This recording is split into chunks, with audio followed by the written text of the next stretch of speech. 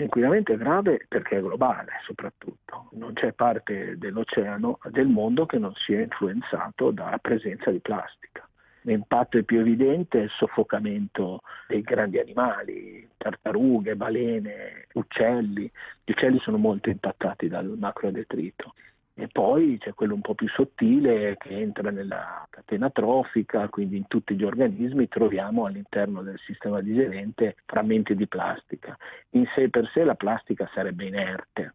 Il problema è che può aver assorbito gli inquinanti e quindi trasferirli agli organismi. Lei ha partecipato a diverse campagne di misurazione sugli oceani. Quali sono le difficoltà nel valutare la vera portata di un fenomeno come quello dell'inquinamento da plastica?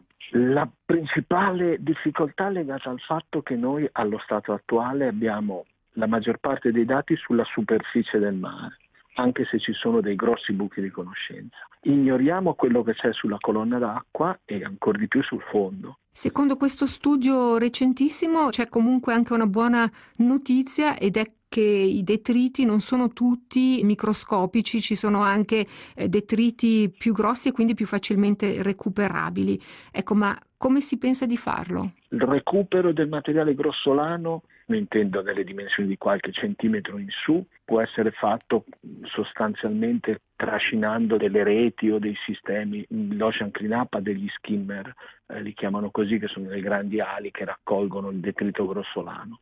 Stiamo veramente però affrontando un problema immenso con strumenti molto piccoli, quindi non abbiamo la risposta ancora. L'abbiamo ancora meno per il detrito più piccolo detrito di dimensioni inferiori al millimetro o ai due millimetri se vogliamo, è virtualmente impossibile levarlo dall'acqua senza togliere anche gli organismi del plankton. In questi anni si è cercato di ridurre il problema limitando ad esempio l'uso di sacchetti di plastica, però la produzione di plastica a livello mondiale è sempre in crescita, si parla addirittura di 320 milioni di tonnellate l'anno.